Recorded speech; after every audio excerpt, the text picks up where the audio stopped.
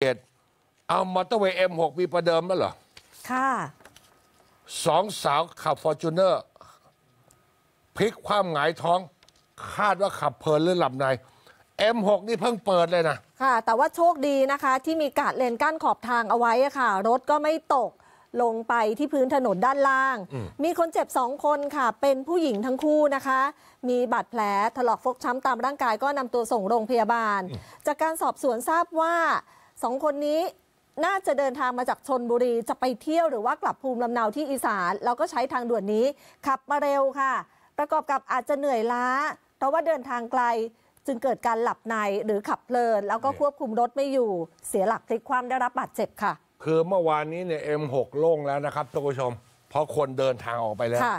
และถนนเนี่ยมันใหม่แล้วมันสวยงาม ขับเพลินโอ้โห ค่ะ M6 ประเดิมซะละ และวงจรปิดนครนายกท่านผู้ชม รถเก๋งเฉียวชนกันที่สี่แยกกำนันชราที่เมืองนครนายกดูเถอะ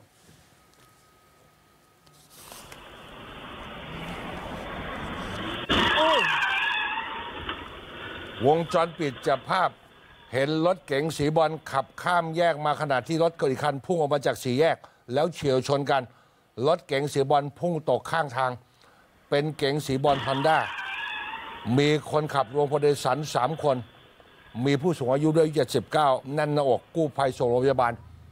คู่กรณีเป็น Toyota Camry ตกไหล่ทาง ผู้โดยสารมาสองคนบาดเจ็บ มีแผลฟกช้ำตามร่างกาย ถามคนขับเก๋งคอนด้าสีบรอนซ์